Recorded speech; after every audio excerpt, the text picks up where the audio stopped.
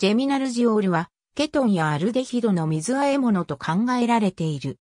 ジェミナルジオールあるいは略して、ゼム、ジオールとは、一つの炭素原子に二つのヒドロキシモトが結合した化合物の総称である。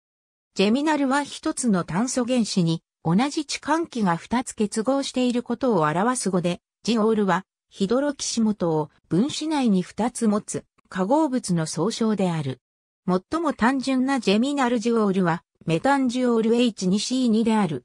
他には、ジヒドロキシマロン酸フーク C2 区やデカヒドロキシシクロペンタン2号などがある。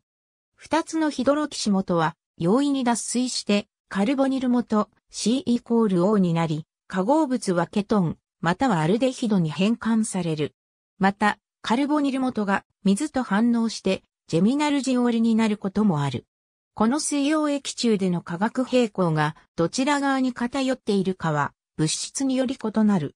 例えば、アセトンに C イコール O とプロパンマイナス2、2、ジオールに C2 の平行定数は13であり、ケトン側に偏っている。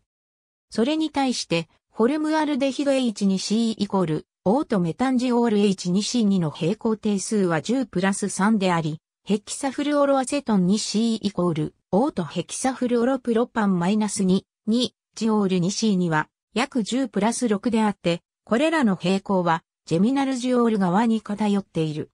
デカヒドロキシシクロペンタンとドデカヒドロキシシクロヘキ酸のように、ジェミナルジオールは安定なのに、ケトンが不安定であるといったケースもある。ありがとうございます。